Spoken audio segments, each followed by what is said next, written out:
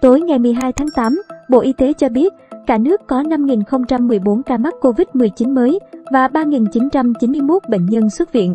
Cụ thể, tính từ 6 giờ đến 18 giờ ngày 12 tháng 8 ghi nhận 5.025 ca nhiễm mới, trong đó 11 ca nhập cảnh và 5.014 ca ghi nhận trong nước tại Bình Dương 2.117, Thành phố Hồ Chí Minh 1.523, Đồng Nai 646, Đồng Tháp 123, Cần Thơ 104, Đà Nẵng 78, Hà Nội 76, Trà Vinh 66, Khánh Hòa 42, Phú Yên 31, Bình Thuận 31, Ninh Thuận 24, Lâm Đồng 22, Sóc Trăng 20, Bến Tre 19, Quảng Ngãi 16, Đắk Lắk 15, Gia Lai 9, Hậu Giang 8, Hà Tĩnh 7, Đắk Nông 6, Thanh Hóa 6, Thái Bình 6, Bình Phước 6, Quảng Bình 5, Quảng Nam 2, Nam Định 2, Con Tum 1, Lào Cai 1, Ninh Bình 1, Hải Dương 1, trong đó có 970 ca trong cộng đồng. Như vậy, tính đến chiều ngày 12 tháng 8, Việt Nam có 246.568 ca nhiễm, trong đó có 2.395 ca nhập cảnh và 244.173 ca nhiễm trong nước.